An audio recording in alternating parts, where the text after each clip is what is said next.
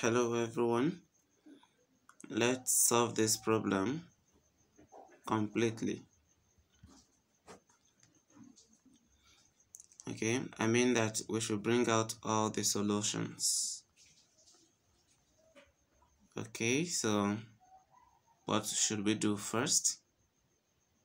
Take x to the other side. So we have square root of x equal to 5 minus x. What will be the next step? Squaring both sides. So we have x squared to be equal to 5 minus x. And then we'll square this. I am squaring both sides because I want to remove the, um, the square root from here. This can go and then x will be equal to what we have here. Now let's show all the steps. This is 5 minus x. And then we have 5 minus x again. x here is equal to 5 times 5 is 25 then 5 times minus x is minus 5 then we have x. Then um, minus x times 5 will give minus 5 x minus x times minus x will give plus x squared okay so this is what we have and then from there let me take a step further x will be equal to 25 minus 10x plus x squared. So now we are having a quadratic equation. So let this come first. So I'm going to write x squared, then minus 10x follows. Then this x here, since it's coming to the other side, it becomes minus x. And here we have plus 25. Plus 25, this is still equal to 0. So from here, x squared minus 11x plus 25 is equal to 0. So now we have a quadratic equation and you might start thinking how you factorize this. It's going to waste your time. By the way, it may not be factorizable, right? So we have to apply the formula method our a is equal to 1 our b is equal to minus 11 and our c is equal to plus 25 or positive 25 you may not know how I get all of those. This is the coefficient of x giving us 1 b is a coefficient of x giving us minus 11 by the way, a is the coefficient of x squared, okay? And then c is the constant, which is 25. Now, our formula is x is equal to minus b plus or minus square root of b squared minus 4ac and the whole of this will be over 2a. So what you will do now is to substitute right into the formula.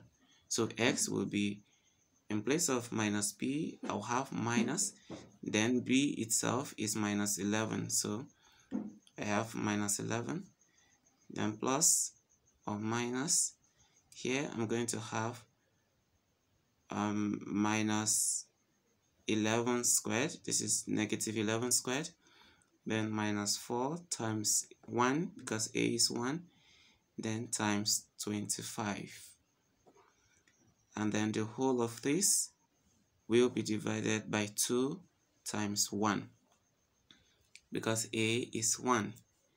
Now x will be equal to 11 plus or minus minus 11 squared will give 121 then minus 4 times 1 times 25 will give 100 then the whole of this will be over 2 let me deal with what I have in the square root sign.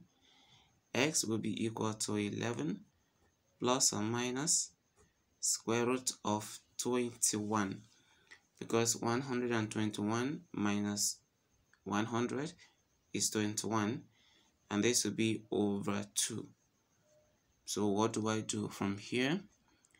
Remember that um, from here now we can say that our x is equal to 11 plus square root of 21 over 2 let's call this x1 okay and then we also have x2 which will be 11 minus square root of 21 over 2 and mind you we can equally have this in decimal right and having it in decimal means that we should get the square root of 21 let's get this very quickly.